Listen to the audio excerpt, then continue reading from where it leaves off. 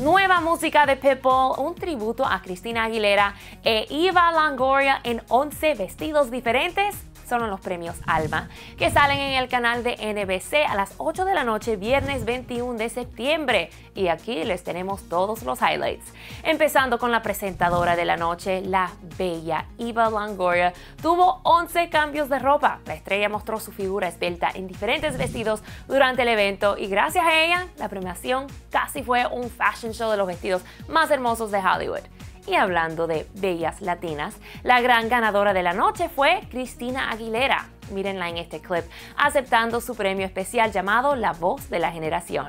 Amazing for me to be here. I mean, that, that just brought back so many memories. This was pretty much where I got my start here on this Alma stage and, uh, you know, uh, singing that song many, many years ago. So thank you all for, for, for being on this incredible journey with me. Eva Longoria tuvo la ayuda del comediante George Lopez como su copresentador y ellos dos como un dúo son comiquísimos. Eva estaba diciendo que se sentía feliz que los teléfonos del iPhone iban al fin estrenar la aplicación de Siri en español y George dijo que lo último que él necesitaba era otra voz de una mujer latina diciéndole qué hacer y a dónde ir.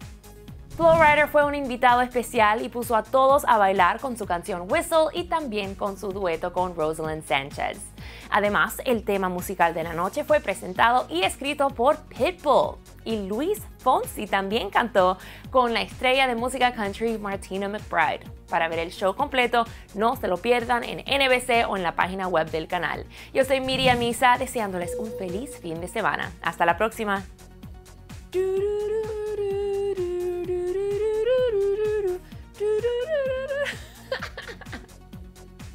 Estoy jugando. ¡Au! Suscríbanse.